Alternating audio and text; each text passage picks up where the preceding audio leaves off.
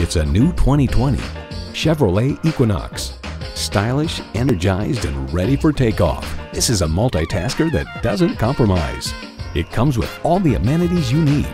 Intercooled turbo inline four-cylinder engine, dual zone climate control, integrated navigation system with voice activation, rear parking sensors, front heated bucket seats, Wi-Fi hotspot, streaming audio, active grille shutters, remote engine start, and automatic transmission.